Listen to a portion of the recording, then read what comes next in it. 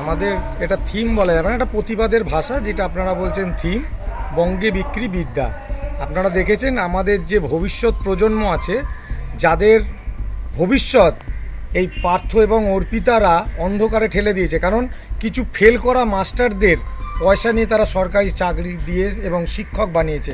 এই শিক্ষকদের কাছ থেকে আমাদের ভবিষ্যৎ প্রজন্মের ছাত্রছাত্রীরা কি শিখবে? দুর্নীতি, চুরি, তাই আমরা চাই যে যোগ্য চাকরি প্রার্থীরা তারা যেন যোগ্য চাকরি পায় এবং যোগ্য শিক্ষকরা তারা শিক্ষক হয় এবং আমাদের ভবিষ্যৎ প্রজন্মকে সঠিক শিক্ষা তারা দিতে পারে এবং তারই প্রতিবাদ স্বরূপ আমরা একটি ধর্ণা মঞ্চ করেছি যেখানে সেই শিক্ষা প্রার্থীদের আহ, ধর্ণা মঞ্চ দেখানো হচ্ছে এবং এইদিকে দেখানো হচ্ছে টাকার পাহাড়ে অর্পিতা এবং পার্থ কি করে মা সরস্বতীকে বিক্রি করে দিচ্ছে। আরেক দিকে রয়েছে একটি খাঁচা, যেখানে আমাদের পশ্চিমবঙ্গে মা সরস্বতী আজকে খাঁচায় বন্দি, বিদ্যা, বুদ্ধি সবই খাঁচায় বন্দি।